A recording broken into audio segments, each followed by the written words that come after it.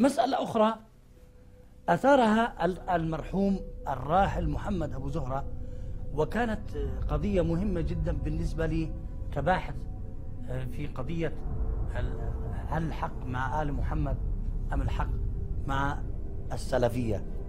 وهو كتب كتاب الإمام جعفر الصادق. إننا نقول تعلمنا بابن تيمية عبارة أنه لم يأخذ الناس عن آل محمد لأنه ليس هنالك علم عند آل محمد.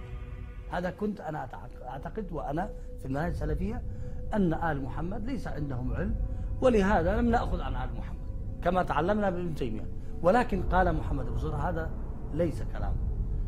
يعقل لدولة كانت تلعن الإمام علي وقتلت الحسين وقتلت ذرية الحسنين سواء في العصر العباسي أو في العصر الأموي.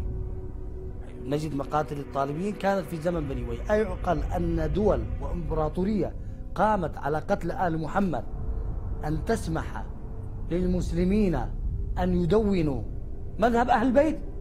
فإذا قال لهم الإمام أبو زهرة وإمام أهل السنة قال عندما نشكك في أن مذهب الإمام جعفر الصادق المشهور بالمذهب الجعفري ليس مذهب أهل البيت سنسأل إذا أين مذهب أهل البيت؟